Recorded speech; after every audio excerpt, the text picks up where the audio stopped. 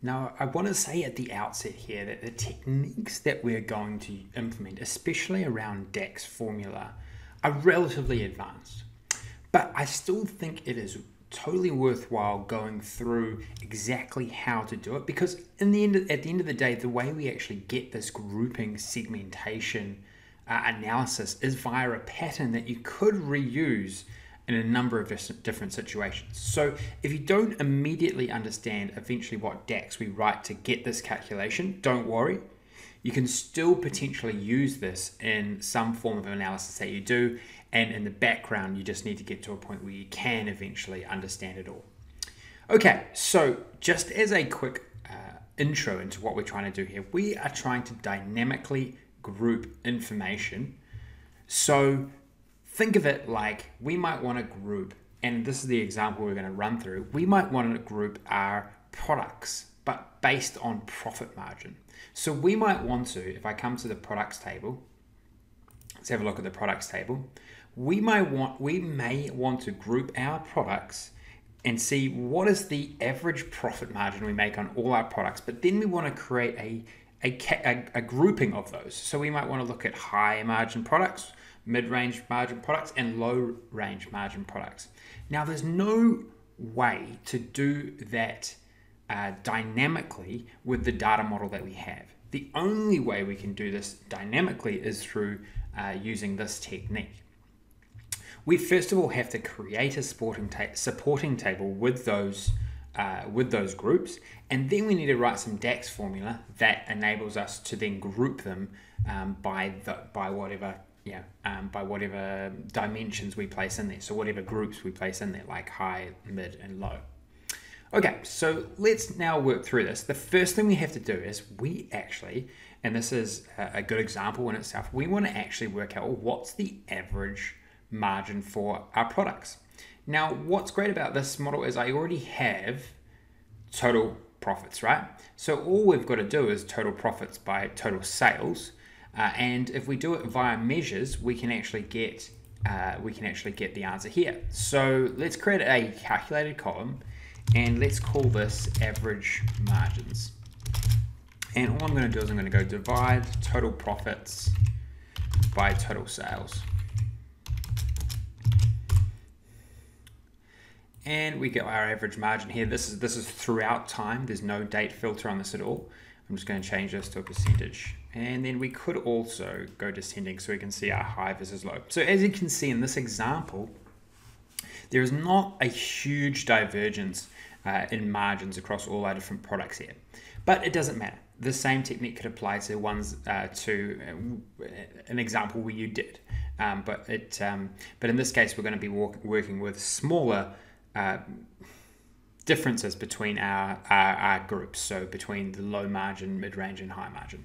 Okay, so now that we've got our margin table, now or our margins, we now need to create a table, a supporting table that enables us to group our products by these particular margins.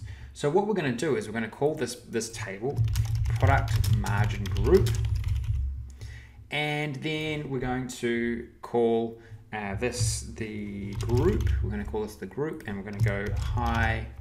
Actually, we'll go low, mid, and high.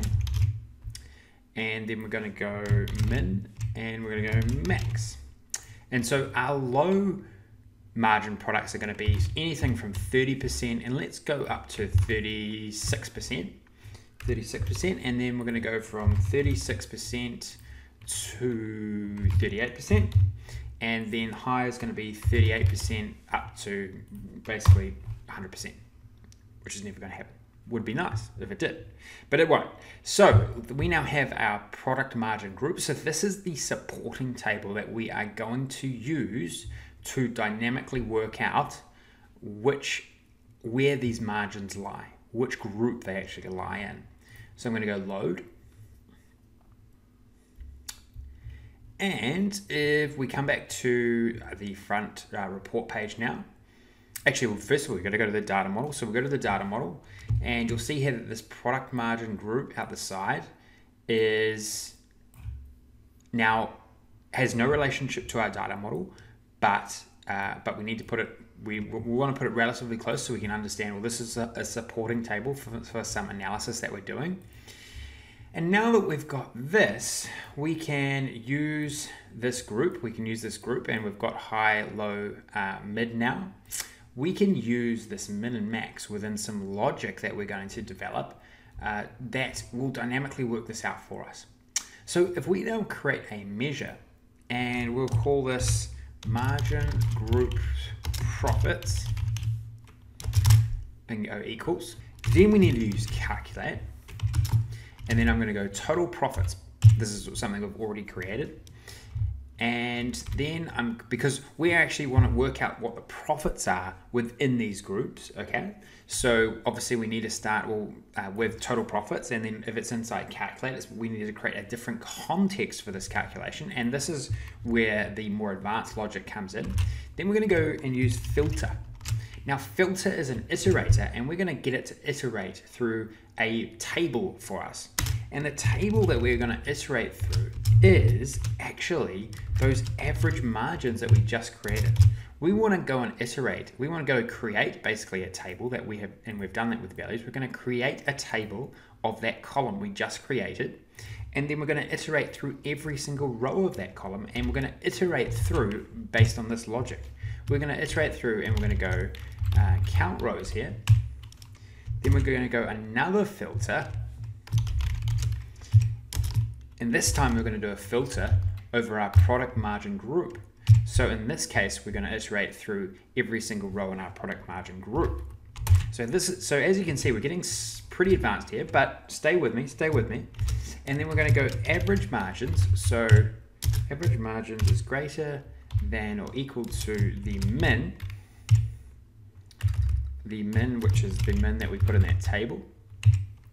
Then let's go down to another row here and average margins is less than the max that we put in that table.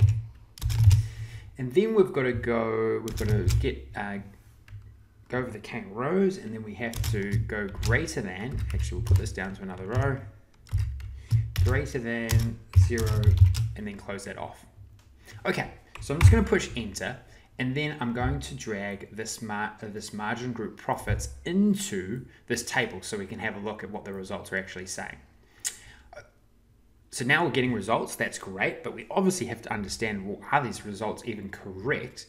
We can kind of get an inkling that it is correct because this 57 million odd is actually, uh, if I just do a quick check, if I do a quick check and just go total profits, that's actually the result that we get for all profits. So it's somewhat correct, but we need to understand the logic here. The best thing to do with some of this advanced logic is to work backwards or, or to work with the filters. So first of all, try and understand what the filters are doing.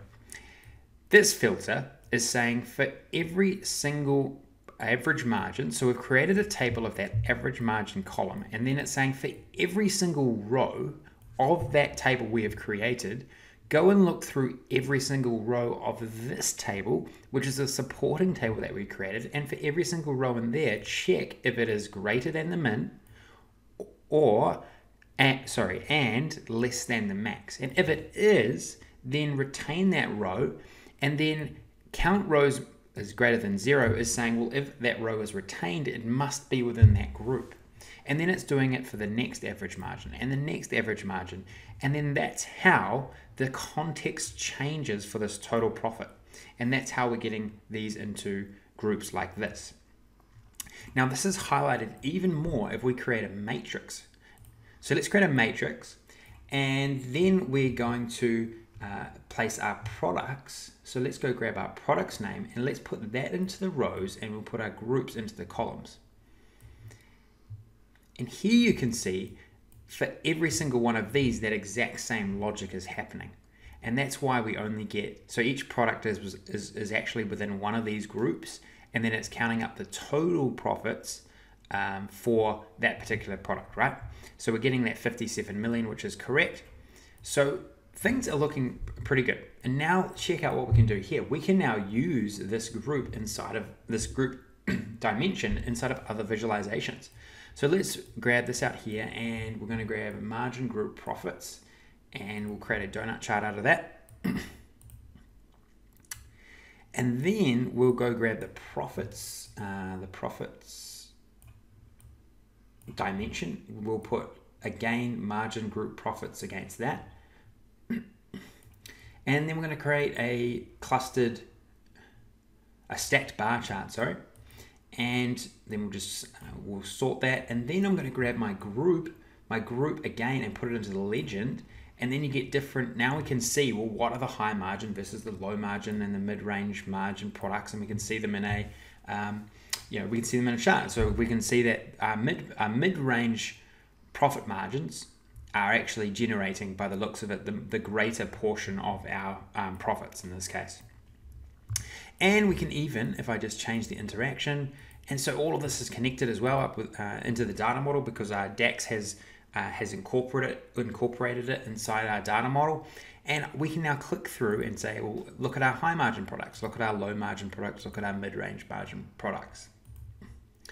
So we've covered a bit there, and this uh, this this video is, is a bit longer than normal, but there was a lot of logic to, to cover, especially around DAX there.